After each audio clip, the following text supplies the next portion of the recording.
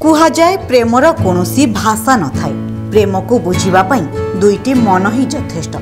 ପ୍ରେମ ଦେଖେ ନାହିଁ ଧନୀ କି ଗରିବ। ପ୍ରେମ ଦେଖେ ନାହିଁ ଶିକ୍ଷାଗତ ଯୋଗ୍ୟତା। ଆଉ ପ୍ରେମରେ ନଥାଏ ବୟସର ବାଧକ। କେତେବେଳେ କେଉଁ ବୟସରେ କାହାକୁ ବି ପ୍ରେମ ହୋଇଥାଏ। ଏମିତି ଏକ ନିଆରା ପ୍ରେମ କାହାଣୀ ଦେଖିବାକୁ ମିଳିଛି ଆମ ଦେଶର ବୃନ୍ଦାବନରେ।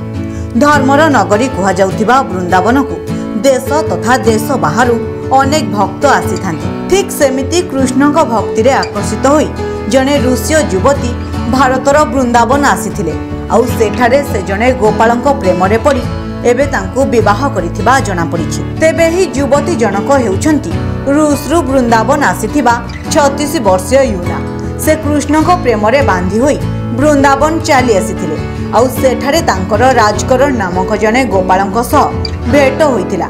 ରାଜକରଣ ଦୀର୍ଘ କୋଡ଼ିଏ ବର୍ଷ ଧରି ବୃନ୍ଦାବନରେ ରହି ଆସୁଥିବା ବେଳେ ସେଠାରେ ଗୋ ସେବା କରନ୍ତି। ବୃନ୍ଦାବନରେ ୟୁନା ପହଞ୍ଚିବା ପରେ ରାଜକରଣଙ୍କ ସହ ମିଶି ଗୋ ସେବା ଆରମ୍ଭ କରିଥିଲେ। ଏହାରି ଭିତରେ ଉଭୟଙ୍କ ମଧ୍ୟରେ ଗଢ଼ି ଉଠିଥିଲା ପ୍ରେମ ସମ୍ପର୍କ। ଆଉ ପରବର୍ତ୍ତୀ ସମୟରେ ବିବାହ କରି ସାରା ଜୀବନ ଏକାଠି ରହିବା ପାଇଁ ନିଷ୍ପତ୍ତି ନେଇଥିଲେ। ରାଜକରଣ ଏବଂ ୟୁନା ଦୁଇହଜାର ତେଇଶ ଏପ୍ରିଲରେ ହିନ୍ଦୁ ରୀତିନୀତି ଅନୁସାରେ ଏହି ମନ୍ଦିରରେ ବିବାହ କରିଥିଲେ। ସେବେଠାରୁ ଦୁହେଁ ଏକାଠି ମିଶି ଗୋ ସେବା କରି ଆସୁଛନ୍ତି। ଏଥିସହ ଦୁହେଁ ବୃନ୍ଦାବନର ଇସ୍କନ ମନ୍ଦିରକୁ ଯାଇ ଲୋକଙ୍କୁ ଖାଇବାକୁ ଦେବା ସହ ଧାର୍ମିକ ପୁସ୍ତକ ଏବଂ ଚନ୍ଦନ ବାଣ୍ଟିଥାନ୍ତି।